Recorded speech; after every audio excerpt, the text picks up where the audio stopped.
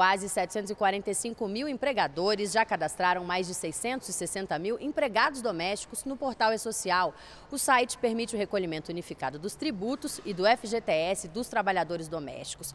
O prazo para o cadastro de empregadores e de empregados contratados até setembro deste ano termina no dia 31 de outubro. Para os contratos assinados depois de setembro, o cadastramento no E-Social deve ser feito até um dia antes do início das atividades. Os empregadores devem ficar atentos para o preenchimento correto das informações.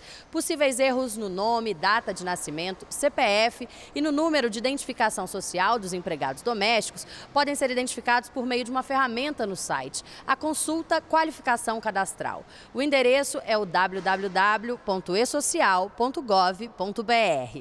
De Brasília, Thaisa Dias.